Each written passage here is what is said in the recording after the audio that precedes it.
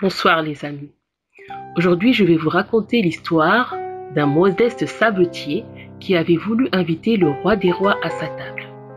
Cette histoire se trouve dans la citation du prophète William Marion Branham intitulée L'effondrement du monde, prêchée le 16 décembre 1962 à Jeffersonville.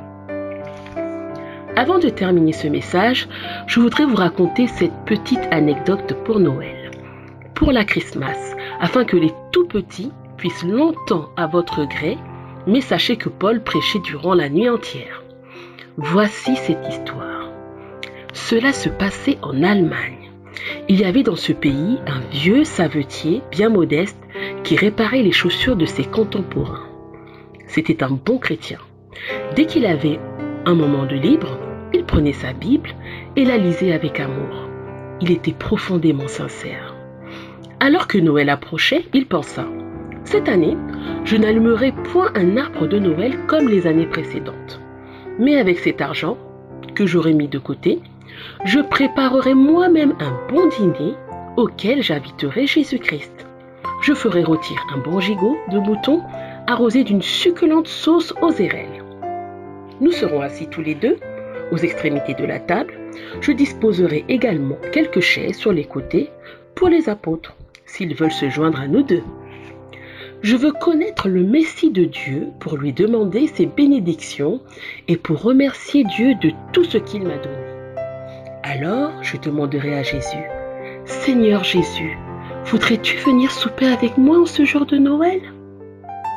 Dieu écoute toujours les prières qui lui sont adressées par un cœur sincère et humble.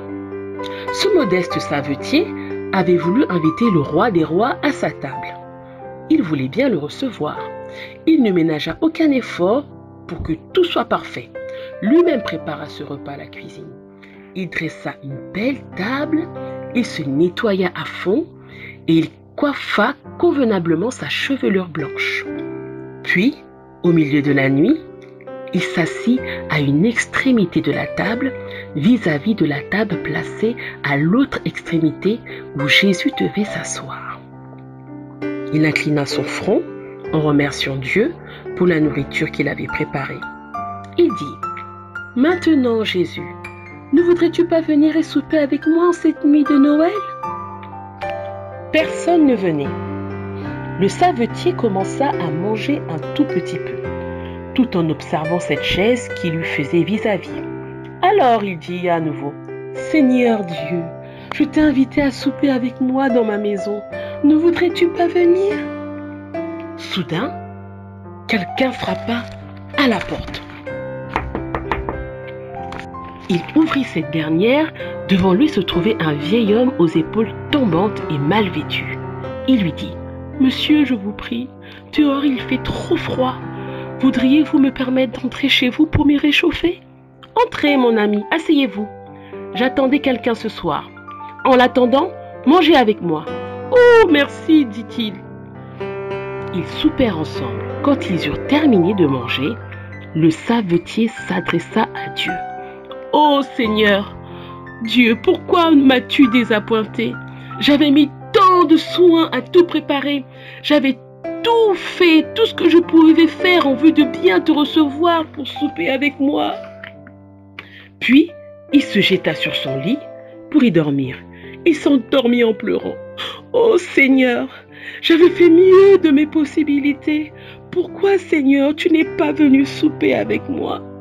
Alors, une voix se fit entendre dans la chambre.